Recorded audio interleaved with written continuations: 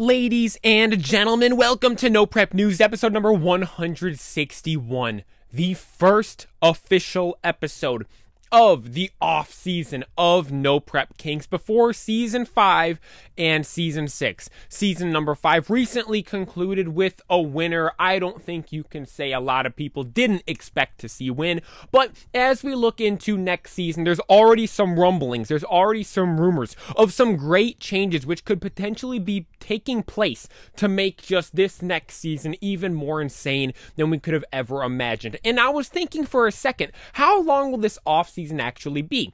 Because we look at No Prep King season 5, it ended right at the end of October. So you have all of November, December, January, February, March. And if you do recall, season 5 began in April. I think it was towards the end of April, but it was still April. So about five, five and a half months we have to wait.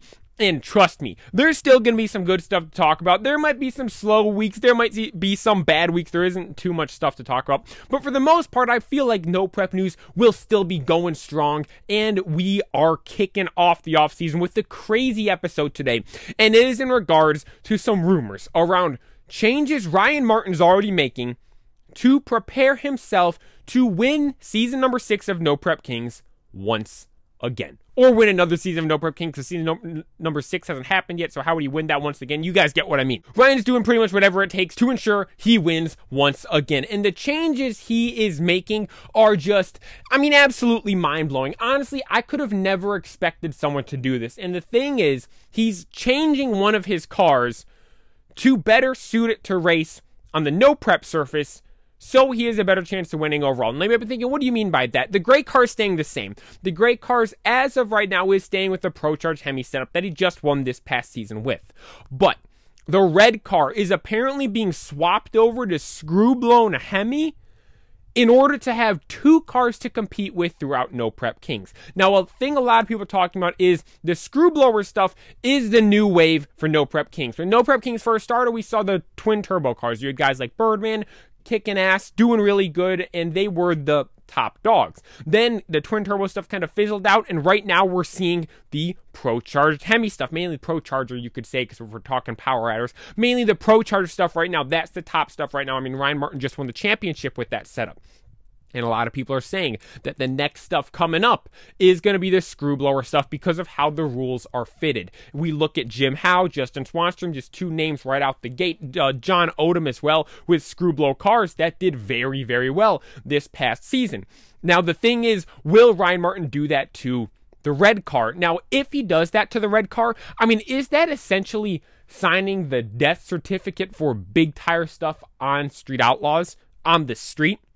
Because he built the gray car so he wouldn't have to race the red car on No Prep Kings. So he had the red car to just race on the street. And all signs are kind of pointing to there's going to be no big tire stuff on the street anymore. And this is kind of a wild decision. And this isn't the episode to talk about it, but I think it's crazy that Pilgrim, Discovery, Street Outlaws, they're making this decision before any of the small tire stuff has ever even aired. They have no idea the reaction from the fans, the ratings, all that stuff, but they're going all in with it blind, which I think that's kind of interesting. But if that is the case, all these guys have these big tire cars, so why won't more of them do what Ryan's apparently doing and build their big tire cars with possibly a different setup or a backup setup so they have two cars for No Prep Kings? If No Prep Kings is where they're making all the money, if No Prep Kings is where they enjoy racing the most, it's during the day. I mean, for the most part, they get to see all the fans and stuff. I mean, they get to go to all these different tracks around the country. Like, if No Prep Kings is the spot, if you're actually like a big name in Street Outlaws, if that's like the best place to be at,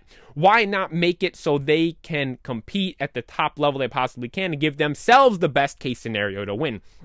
Ryan Martin is clearly doing that once again with changing the red car over to apparently screw blower while the gray car will remain pro charger. So per track altitude track surface, whatever it may be, overall environment, how the cars are running in said day. The thing is, too, though, once he begins racing at a track with one car. He has to remain in that car throughout the remainder of the race. But then the next race, he can completely change cars. So the thing is, he would be doing this not during the event switching cars. I apologize if I worded some of that stuff a little weird. It would be per event overall. Not during the event he's switching, like say round one to round two. He can't switch during that. Once he begins round one, he has to remain in that car the entire time. But for the event the next week, it doesn't matter what car he shows up in and races in, and then the same rules apply for during the actual event. And the thing is, we're sitting here wondering like what the deal is with what these guys are doing for new setups for next season, and we don't have the rules yet.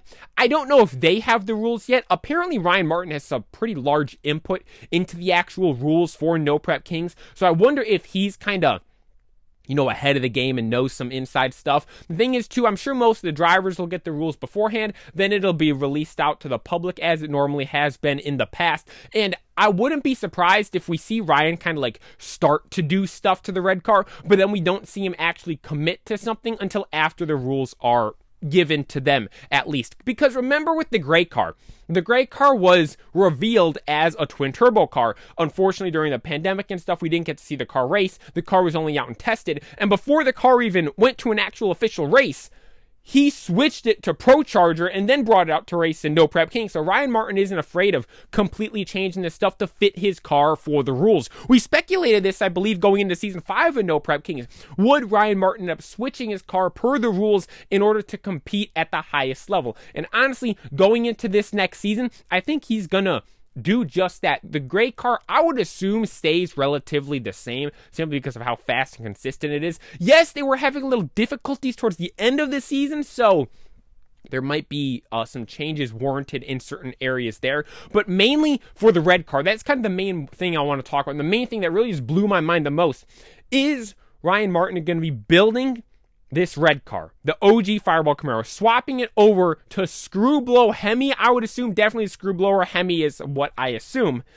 To race in No Prep King, so he has two cars to compete at the absolute highest level. I assume no 100% changes will be made until the rules are released, but I wonder what the uh, ripple effects would be of this. Will other drivers do the same, seeing that big tire stuff's pretty much obsolete on the street now, and these guys have these big tire cars? Will they change them to do what Ryan Martin's doing to compete at the highest level for No Prep Kings? A lot of stuff to look out for the remainder of this offseason, and a lot of stuff to look forward to for next season of No Prep Kings. And that is all for this week's episode. I thank you all so very much for watching TTVE. Make sure you guys click that little bell to notifications on so you do not miss a single video that I upload. All my videos upload live at 6 p.m. Central Standard Time. Make sure you guys tune in tomorrow night, Monday night at 6:50 p.m. Central Standard Time where we'll be going live here on my channel watching a new episode of Street Outlaws No Prep Kings. Make sure you leave your thoughts and opinions in the comment section down below about Ryan Martin potentially taking the red car, building it for No Prep Kings, and other drivers doing the same as well. Let me know your thoughts on all of that in the comment section down below. I have also set up a PO box, so if you guys would like to send me stuff, address is down below in the description. But like I said, that is all. Thank you so very much for watching TTVE. Hope you guys enjoyed. Hope you guys had a great weekend this weekend and are looking forward to a great week this week. And I honestly can't thank you guys enough for watching TTVE. Make sure you follow me on Instagram, Facebook, TikTok, all the same XYZ. Don't forget to like and subscribe and this is Sim ABC XYZ signing out.